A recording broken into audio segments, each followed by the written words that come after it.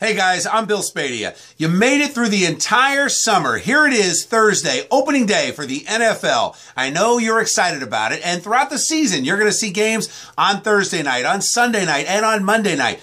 Now, what do these days all have in common? Yep, you guessed it. You've got to go to work the next day. I say the NFL ought to completely change it up. I'd like to see games played on Friday night and Saturday night, and yep, on Sunday afternoon. So you've got a little downtime, maybe even a day off after watching the big game. This carries through the Super Bowl. Why is the Super Bowl played on Sunday night and you got to go to work on Monday? I say football games ought to be played on days before a day off. That's my New Jersey. What's yours? Let me know on Twitter at NJ1015 and at Bill Spadea. And let's continue this conversation on the web, NJ1015.com.